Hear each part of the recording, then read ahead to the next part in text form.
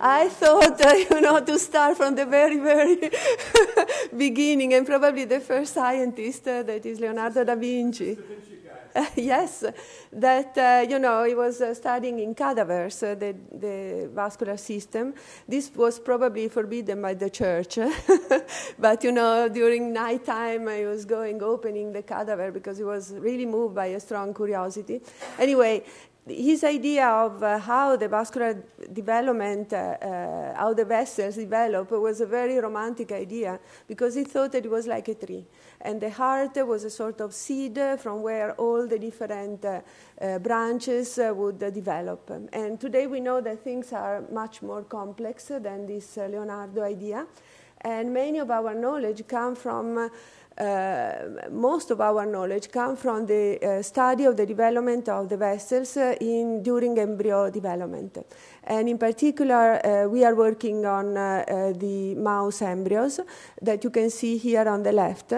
And uh, indeed, many of the growth factors and uh, matrix protein or other agents that direct the neovascularization in pathological condition are the same that direct the physiological vascular development in the embryo. So this is just to make you a very short uh, uh summary of uh, what are the tool that we are using in basic science to understand uh, the angiogenesis and vasculogenesis. On the right, uh, you can see that uh, another tool that is widely used is zebrafish.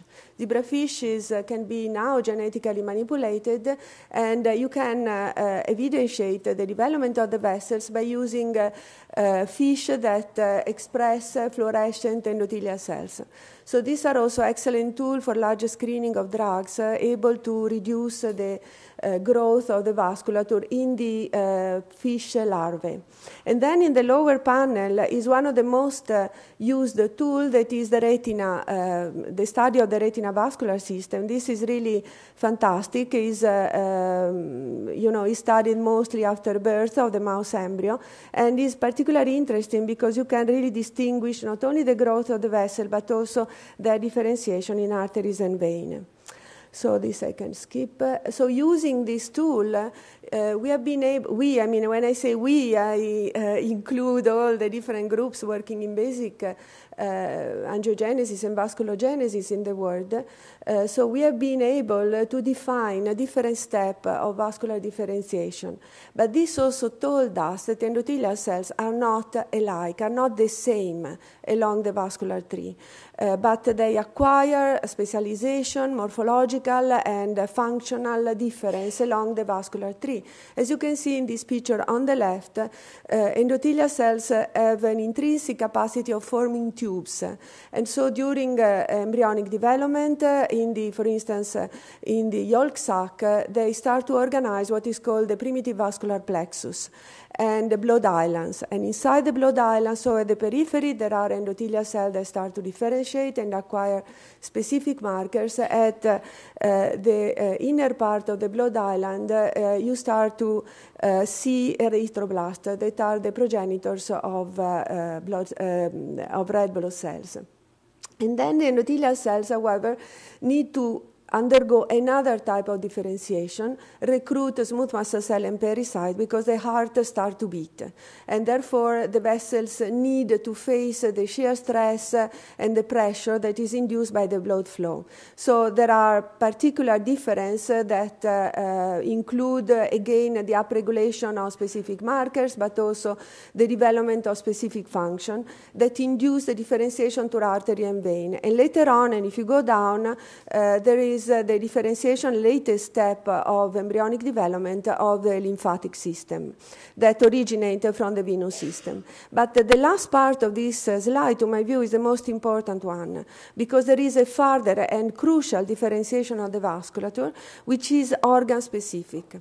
So this means that the vessels that enter into the brain or that originate in the kidney, in the heart, or in the pancreas acquire specific properties that are needed by a uh, correct functioning of this organ. So, for instance, just to take an example, in the brain, the brain microvasculature need to develop what is called the blood-brain barrier.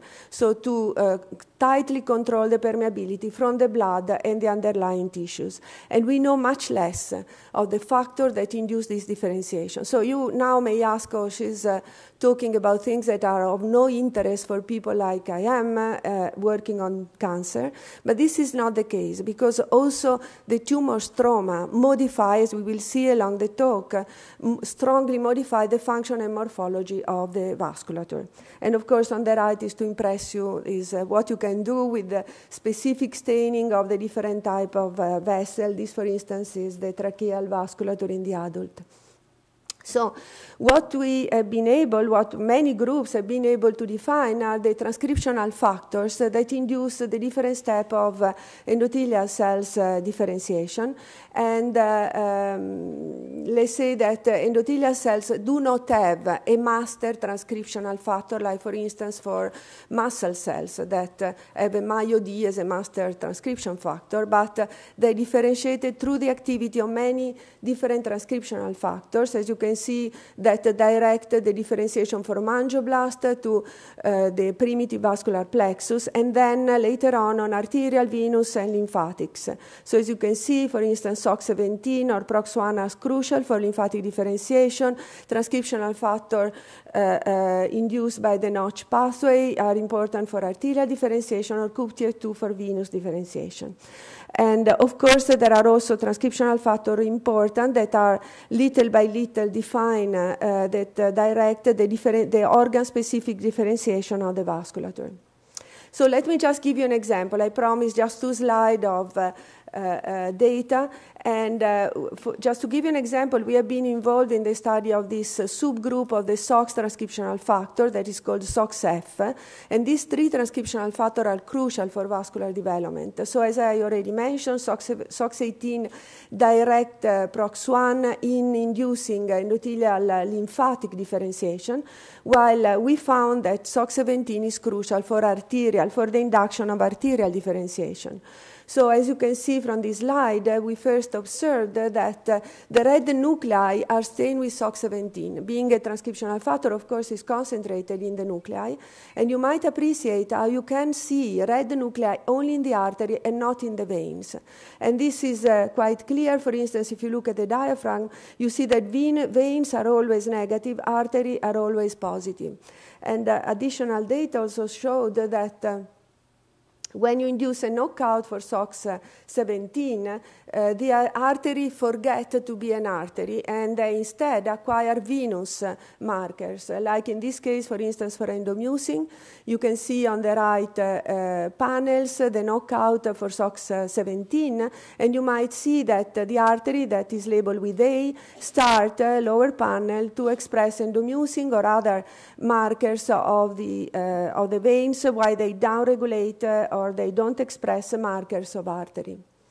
So again, I mean, you might ask, we are clinician, who cares about your games with mice and so on, or fishes even?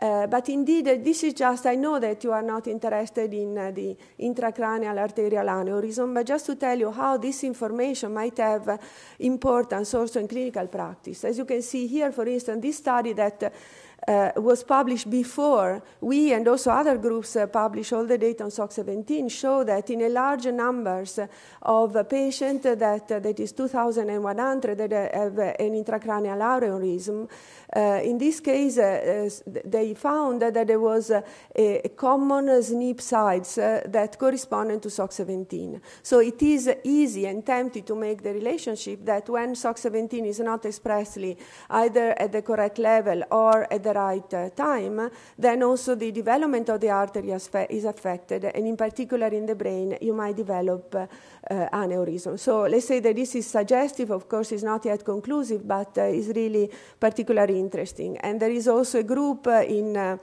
in Korea that uh, scooped us, unfortunately, and they could demonstrate that uh, in the SOX17 uh, knockout mice, there is a much higher incidence of cranial aneurysm. So, you know, knowing the basic, what I want to underline that uh, doing basic work uh, in many cases can uh, inspire also clinical work. So let's go back uh, to angiogenesis. And uh, I just will uh, make a few points that you probably are very, that are probably very familiar to you, but just to make a sort of general introduction. So one important point is that in the adult, angiogenesis occurs only in physiopathological conditions. So in general, the vessels are very stable, and endothelial cells do feel at their best condition in being uh, in a resting condition. So as you can see, even if it's debated, but in many regions of the vascular tree, the half-life of endothelial cells reaches several years. However, there are conditions like, for instance, the menstrual cycle in women, or, for instance, wound healing, where even in normal uh, situation, the vasculature is able to uh, uh, start to proliferate again. And of course, in any proliferative condition, and of course in cancer, this is uh, common features. And so if we go to cancer, again, this is a very elementary Eh, eh, cartoon, but just to remind, remind you that uh, tumor cells, when they, are, when they are forming very small nodule of few millimeter, in many cases they can survive because they use a nutrient they come from, from diffusion of the lymph. However, when they start to grow, they undergo hypoxia, and hypoxia lead to the release of growth factor for the different, different growth factor, and of course the first, the prima donna is VEGF, that then induce the recruitment and the uh, migration of new vessels starting from the pre-existing one. And I took this, uh, this is a cartoon that comes from one of the original paper of Judah Folk, one that was published in New England Journal of Medicine, but just to underline how the vascularization of the tumors is not only important for, the, uh, for bringing nutrient to the uh, tumor cells, but also for, uh, you know, is a fantastic uh, highway network for cancer cells uh, to metastatize and then localize in the different organs. And this is true for blood vessels, but for most of the carcinoma, the lymphatic system seems to be particularly important for the uh, metastatic dissemination. And why so? And one of the reasons that I think, again, I mean, going back to basic research that is of particular interest, is the fact that uh, the lymphatic vessels are profoundly, profoundly different from the others. And here, for instance, I just show you the organization of the endothelial cell-to-cell junction. Endothelial cells are linked one to another uh, by a complex uh, set of proteins that maintain the glue between them, but also control permeability to lymph and circulating cells. So as you can see in veins and artery, you can distinguish uh, this uh, continuous line. In this case, uh, this is the staining for VE-cadherin, that is an adherence junction, and I will go back in a couple of slides to this. But uh, you see that uh, there is a continuous regular staining of VE-cadherin along the border of the endothelial cells. And this is even more regular in the artery than in the vein, also because the endothelial cells are more elongated due to the, to the shear stress, to the direction of the flow. But if you go to the lymphatics, the junctions are completely different. And just to give you a very simple idea, the junctions are discontinuous, and uh, this allows a very easy passage of lymph uh, immune cells and of course also of uh, uh, cancer cells that then can find one of their best way to then uh, diffuse in the circulation. So of course this also led to a lot of research that was uh, done by different groups, but one of the most famous one is uh, the one directed by Kari Alitalo, and so he was able to define different growth factors that uh, play a crucial role in the development of lymphatics within the stroma of the tumors. And uh, uh, of course, the idea here is to see whether it is possible to reduce the lymphatic proliferation in order to reduce the capacity of the tumor to, to, to disseminate. So let's say that at the beginning of the story of angiogenesis, uh, there was a lot of enthusiasm because, uh, because of, uh, of course, uh, there was uh, the idea that uh, inhibiting the vascular and so the nutrient supplies to cancer, to different type of cancer would be effective. So a sort of general type of treatment. On the other side, uh, because uh, it could be associated to other intervention and therefore make, uh, you know, and playing with the different ballet, uh, bullet. And, on the, and finally, since angiogenesis target normal and non-transformed cells, the idea was that, of course, you would have uh, uh, an easier tool because these cells would not adapt to the therapy as the cancer cell do. However, there are general open problems, and I am sure that uh, there will be more discussion on this during the uh, during this meeting, and one is the resistance. And as you well know, many patients do not respond to therapy, or when the therapy is interrupted, the vessel regrow, quickly. And again, I mean, there are uh, experimental data showing by, made by Donald McDonald in Stanford that show that uh, indeed uh, the uh, original vessels, when you uh, treat with VEGF inhibitors, they tend to regress, but then they regrow even uh, quicker than the, uh, in the first place uh, because they find a favorable path where they can proliferate and elongate very quickly. On the other side, there are different growth factors, so the therapy that inhibit only VEGF may be insufficient because there might be other growth factor possibly produced by uh, myeloid cells that uh, uh, are present in the tumor stroma. Uh, there is the third point that, to my view, is particularly important, that is hypoxia may select uh, cells that are resistant to hypoxia on lack of nutrients, in particular the tumor cell cells that are particularly resistant to low oxygen. And then uh, the fourth point that was only demonstrated in the experimental uh, tumors, and in particular in glioblastoma by two parallel groups in Nature already two years ago, and uh, this, uh, that what they show is that uh, tumor and probably tumor stem cells are able to form tubes and to therefore uh, create a sort of vascular system that might uh, be not necessarily sensitive to the common therapy used to inhibit endothelial cell-based new vessels. And the last point that is important, and I think that is probably getting more and more important in the field, is that not only uh, we, the, the, tumor vessels are highly proliferative and so on. But what is crucial is that they are, they are irregular, they are abnormal. And so, if we go back to my previous slide, indeed, the influence of the organ in inducing a correct physiological differentiation of the vessels, as I said, in the brain or other organs, in the tumor is lost. And the vessels are really different from the rest of the organism. And this is just uh, I like to show this slide because I really give you in, uh, uh in one uh, uh, image the, the, the feeling of the difference of the tumor vessels. As you can see on the left, these are the normal vasculature. This is a casting technique. And you see how you can distinguish all the hierarchy of the vessels. On the right, you see the total mass that is present in the tumor vessels. As you can see, the vessels start and keep sprouting, probably because there is a very, actually because there is a high concentration of different growth factors that are not controlled. The lumen is irregular. This vessel tend to hemorrhage, and uh, so this is uh, completely different pictures. This is the internal uh, part of the lumen. As you see on the left, a normal vasculature, a very regular monolayer of endothelial cells, while on the right, the endothelial cells are retracted, and in many cases, the tumor cells face uh, the lumen of the, vascu- of the, of the uh, blood, and therefore are also easily, can also easily enter the circulation and also induce uh, uh, um, thrombotic phenomenon, small closure of the vasculature, and so on. And this is just an image that is not usual, but this again is uh, vessels in the tumor. They show a very high number of what we call fenestrae. These are porous that allow the passage of uh, uh, small molecular weight uh, proteins and lymph, and these are tremendously increased in the vessels in the tumors. And of course, they are inhibited by inhibiting the, the VEGF activity. And it's important to underline that VEGF is not only a growth factor for the vasculature, but is also permeability factor. And indeed, at the beginning, uh, uh, Harold Dvorak identified VEGF as VPF, vascular permeability factor.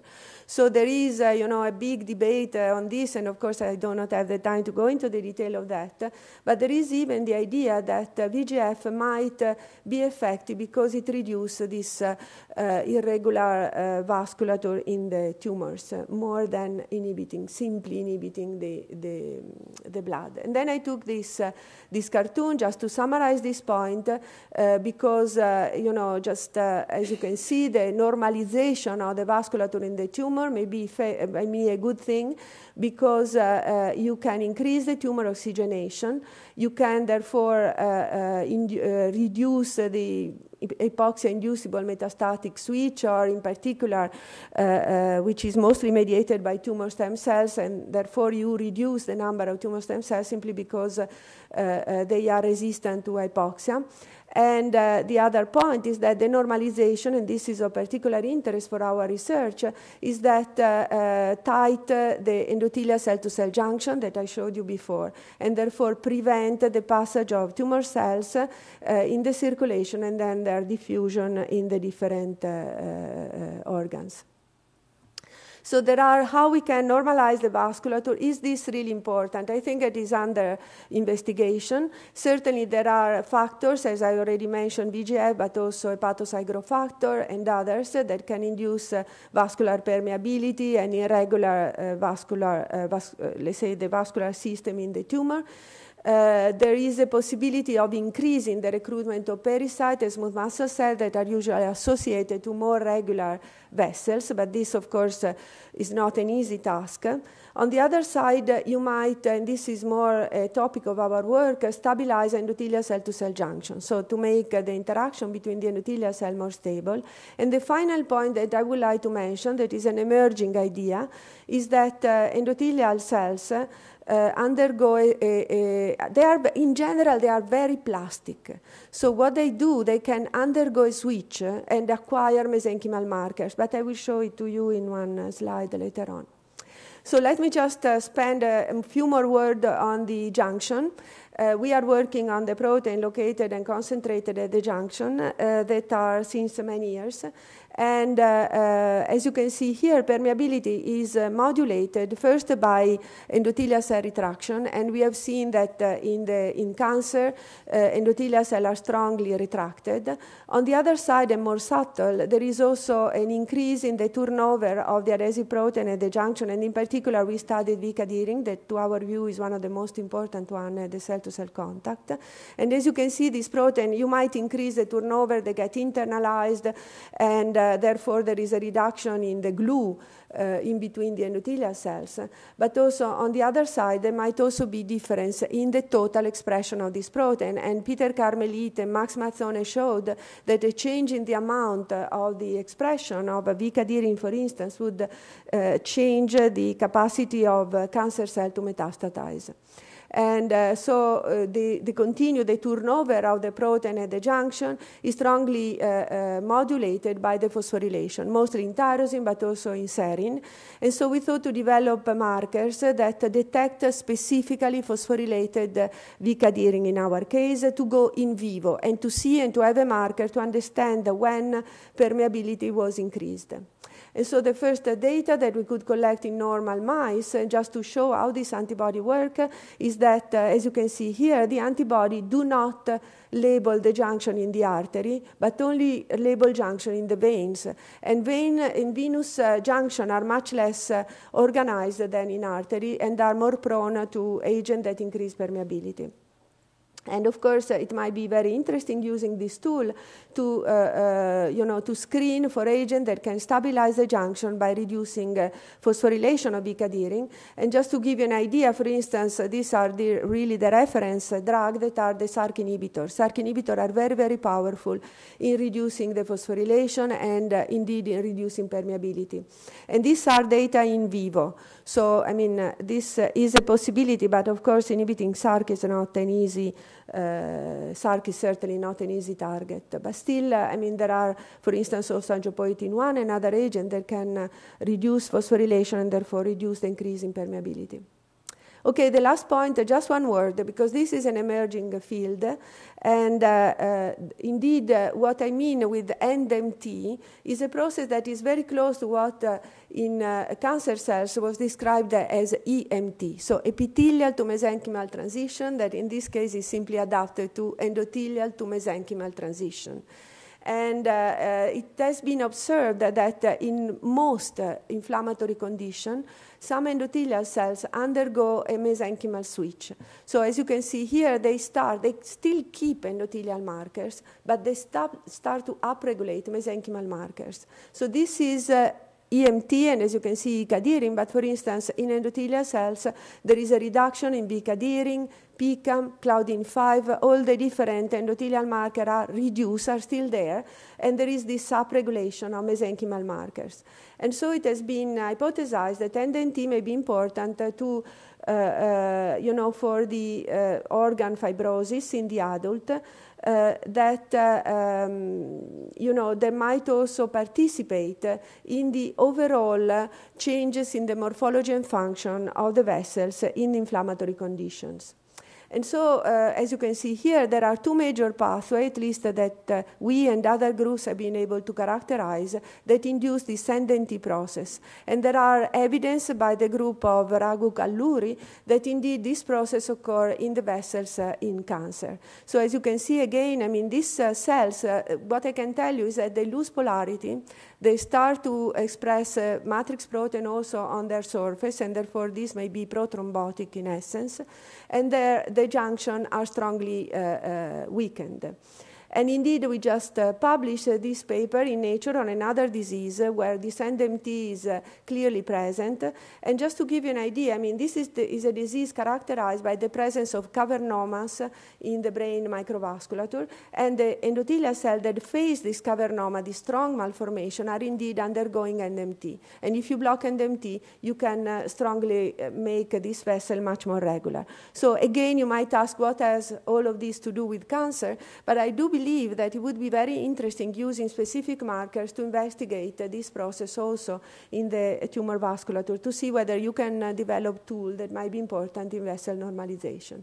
So this is all what I wanted to tell you. This is my group, and this on the right are the important supporters for our research. As you can see, uh, for those of you that are not Italian, it tells you that we have to search for many, many different agencies to support our work because otherwise money is never enough. Thanks a lot for your attention.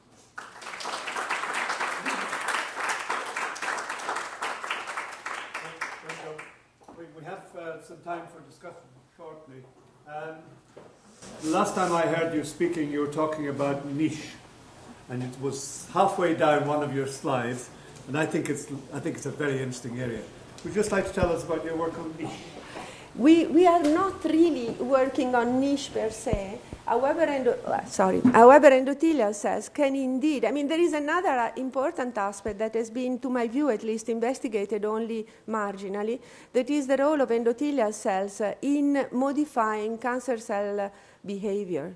And uh, what is, for instance, interesting is that we have done some work on a different uh, type of disease that is myelofibrosis. And in myelofibrosis, there is a strict interconnection between megakaryocyte, this is a megakaryocyte disease, and endothelial cells. And also in that pathology, endothelial cells undergo EndMT, for instance.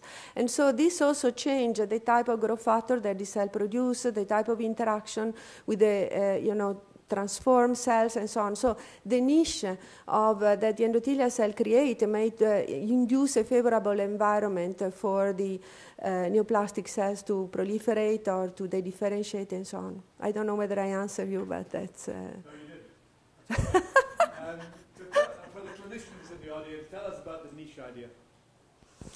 I think the, well, the, idea, the idea that uh, that cancer cells uh, don't go at random to lymph nodes that the lymph nodes make, uh, make a place ready for yeah. the cancer cells to stop. Is that still uh, a, a, valid, a, hypothesis, or, is that, or has that, that been? Uh, has yeah, that been? So I must tell you that this is not exactly the, our topic, uh, our current topic of research.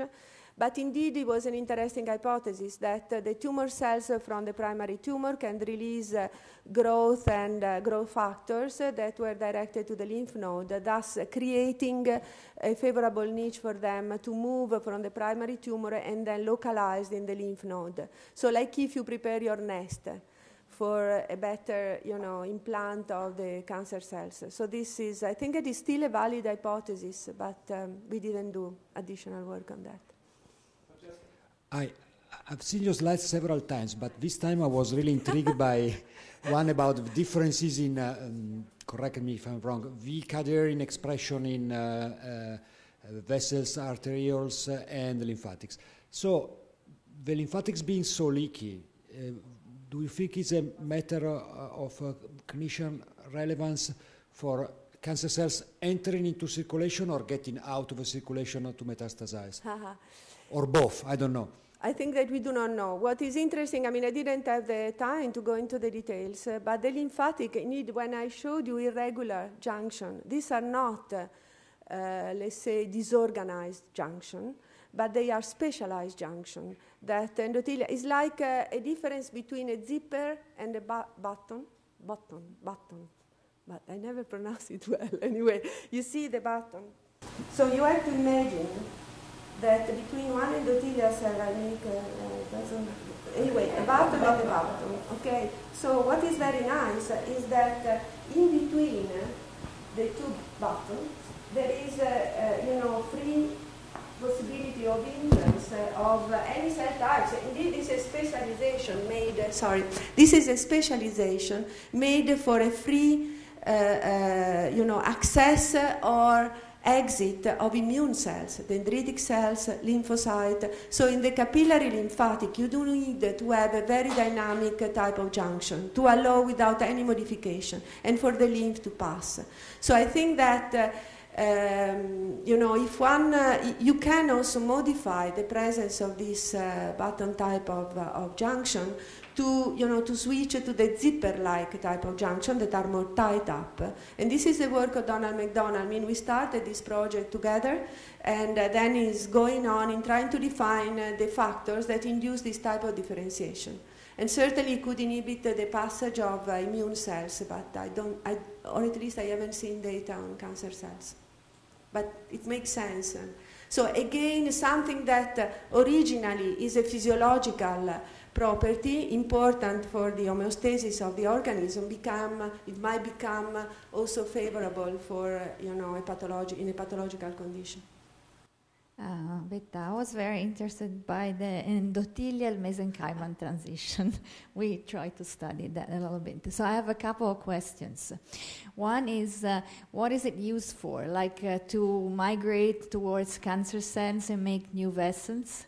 And then for the epithelial mesenchymal, there are very standard markers like cadherins change, vimentin increases. So is there a way that we can, you know, detect how the endothelial cell is mesenchymal? And the last question is, is it reversible? So at a certain point, it goes mesenchymal to endothelial again. So these are very important questions. I would say that uh, uh, in most of the cases, you can really follow the kinase. I mean, now that we are getting more and more specialized with this, uh, there are a set of markers that are upregulated in endothelial cells that still express endothelial markers, and this was also experimentally proven by cell tracking experiments. So you can follow the fate of the cells. And you see that there is a downregulation of specific markers, upregulation of markers that are not only mesenchymal, like for instance alpha smooth actin, and you know there is a long list. Uh, Vimentin is already present before, but uh, uh, you get um, uh, SCA1, KLF4, ID1, also stem cell markers that are upregulated. So one question was, which is the meaning of this? So in cancer, we still do not know. It's an easy to my view, an easy explanation is that this switch may uh, uh, increase the fibrotic, the, the, development of fibrosis, but then uh, physiologically, I don't know, it's probably a system to improve and to make quicker the uh, wound healing, for instance. This uh, would be a possibility.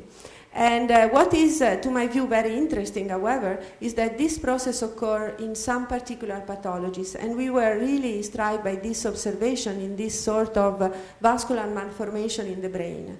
And in that case, uh, you really see that only the endothelial cells that are facing the lumen of this malformation undergo this switch to EndMT. So they still have VE-cadherin, they still have Claudin 5, but they upregulate uh, alpha smooth actin, CD44, and many others. So there are a lot of similarities with the epithelial to mesenchymal transition. what I can tell you is that we can also reproduce this EndMT in vitro. This has been published also by other groups. For instance, if you incubate uh, cells with a cocktail of inflammatory cytokines, which include uh, uh, tumor necrosis factor, interleukin 1, and TGF beta. And we found in this disease, particular cerebral cavernous malformation, that BMP6 is crucial. I mean, this is, seems to be the key agent. So what we know is that we can reproduce the EndMT switch in vitro, so you can even follow the different step, but then you can revert it. And there are, you know, inhibitors of uh, TGF beta activation, and in particular BMP6 activation of the cells, or inhibitors of the uh, uh, Wnt, the canonical Wnt beta-catenin signal, and they can revert the phenotype. More difficult, at least in this particular disease, is to revert the phenotype in vivo, but you can certainly prevent the formation of uh, other malformation. Thank you. Well, this is a wonderful lecture. Um, what's the role of um, sort of uh, myeloid precursor cells with regard to, you know, I, you know, there's some work. Myeloid, myeloid. Pre- precursor cells. Ah, so, okay. you know, in terms of, they, um, you know, VEGFR1 signaling can set. A, you know, this was getting back to the the niche idea, uh, and and also setting up a, a way for. Um, tumor cells to then propagate and develop metastases. The, the reason why I'm asking is primarily because the, there's a lot of debate about the role of anti-angiogenic therapy in the setting of micrometastases or adjuvant therapy, um, where well before tumor vessels are developing, um, and if there's any role for that, and, and, and if it could be related to the development of this uh, micrometastatic niche. Um, that may be dependent on VEGFR signaling? That's a difficult, difficult question. Anyway, so you, I summarize. You are asking which may be the role of uh, myeloid progenitor uh, that might localize in the lymph node and contribute to the creation of the niche, right? This is the. So, hey, I should answer, I don't know. but let me see whether I can find some uh, sort of reflection about that. Certainly, I think that uh, myeloid uh, precursor or myeloid cell, as you well know, are crucial in angiogenesis and, in and certainly contribute in the formation of the niche. And uh, there are different subsets of more mature, let's say, uh, myeloid cells. There are even myeloid cells that express endothelial markers. So they can certainly contribute somehow to the overall uh, role of the stroma to the tumor vascularization. In the niche, in the lymph node, uh, I must tell you that I don't know. It might be my my ignorance for that, but it's better to say that I don't know than try to